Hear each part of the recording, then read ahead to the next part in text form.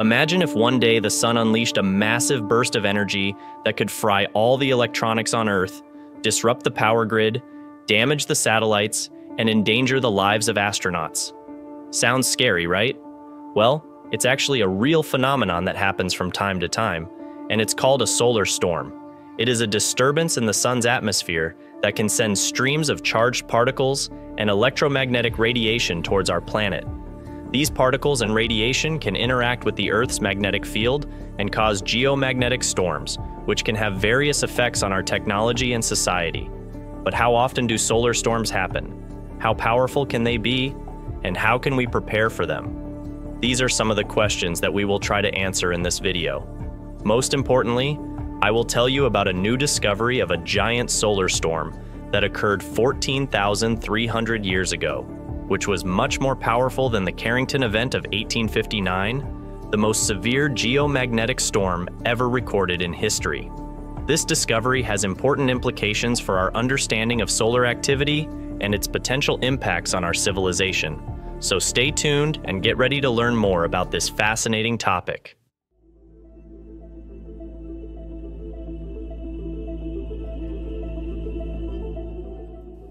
To answer this question, we need to go back in time to the French Alps, where a group of scientists were studying ancient tree rings. Tree rings are layers of wood that grow every year inside a tree trunk. They can tell us a lot about the climate and environmental conditions of the past, but they can also tell us something about the sun's activity. But how? You might ask. Well, it turns out that tree rings contain traces of carbon 14, a radioactive isotope of carbon that is produced by cosmic rays in the upper atmosphere. Cosmic rays are high energy particles that come from outer space and bombard the Earth constantly. However, when the sun is more active and produces more solar storms, it also produces more solar wind, which is a stream of charged particles that flows from the sun and shields the Earth from some of the cosmic rays. This means that fewer cosmic rays reach the Earth, and less carbon 14 is produced in the atmosphere. This also means that less carbon 14 is absorbed by plants and trees through photosynthesis. Therefore, by measuring the amount of carbon 14 in tree rings, we can estimate how active the sun was in different periods of history. This is exactly what the scientists did. They collected samples of tree rings from an ancient pine tree that lived between 12,000 and 14,000 years ago in the French Alps. They measured the radiocarbon levels in each ring and compared them with other records of solar activity from different sources, such as ice cores and sediments. What they found was astonishing. They found a huge spike in radiocarbon levels that indicates a massive solar eruption that occurred around 14,300 years ago. This solar eruption lasted for several hours and was much more intense than any other known solar event in history. It was even stronger than the Carrington event of 1859, which was the most severe geomagnetic storm ever recorded by humans.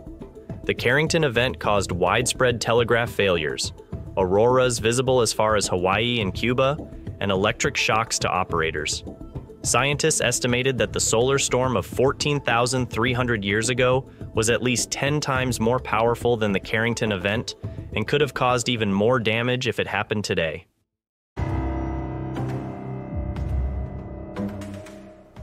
Now, you might be wondering what would happen if a giant solar storm like the one that occurred 14,300 years ago happened today. Well, let's just say it would not be pretty.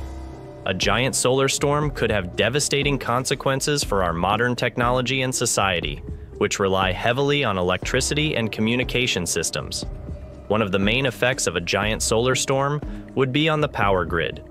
The geomagnetic storm caused by the solar eruption would induce currents in long conductors such as power lines, transformers, and generators. These currents could overload or damage these components and cause widespread blackouts or even permanent damage to the power grid infrastructure. This could affect millions of people around the world who depend on electricity for their daily needs, such as heating, cooling, lighting, cooking, etc. Another major effect of a giant solar storm would be on communication systems. The solar radiation and particles could interfere with radio signals and satellite transmissions, which are essential for many services such as navigation, telecommunication, broadcasting, internet, etc. This could disrupt or disable these services and cause chaos or confusion among people who rely on them for information or communication. A third effect of a giant solar storm would be on space assets. The solar radiation and particles could damage or destroy satellites orbiting the Earth, which are used for various purposes such as weather forecasting, surveillance, scientific research, etc. This could affect the quality and availability of these services, and also create more space debris that could pose a threat to other satellites or spacecraft. Moreover, they could endanger the lives of astronauts or space tourists who are in low Earth orbit or beyond, such as on the International Space Station or on the Moon. They could be exposed to high doses of radiation that could cause health problems or even death.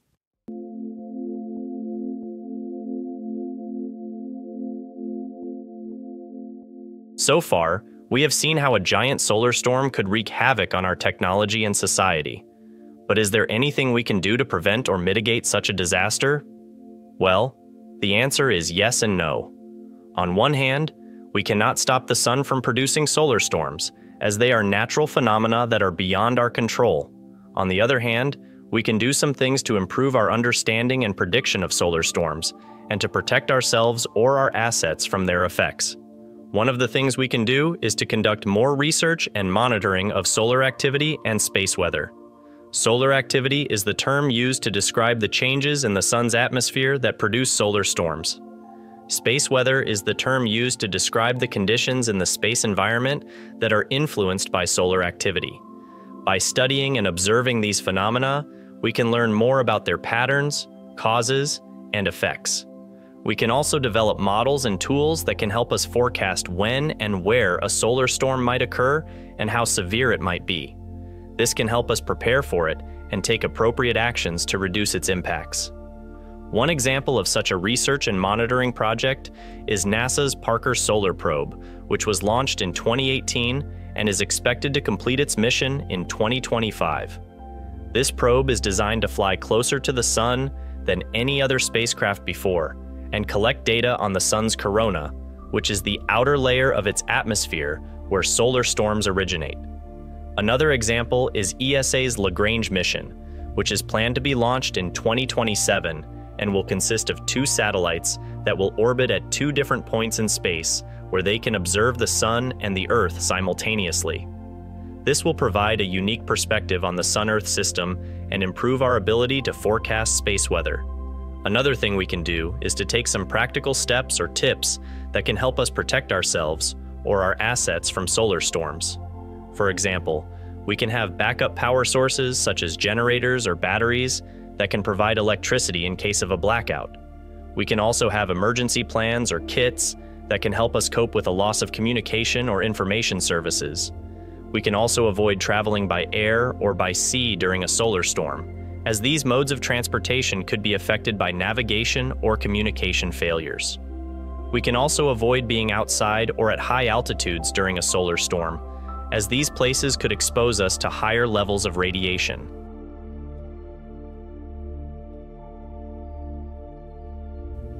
That's it for today. I hope you enjoyed this video and learned something new. If you did, please give us a thumbs up and subscribe to our channel for more videos like this one. And don't forget to share your thoughts and questions in the comments section below. Thank you for watching, and see you next time.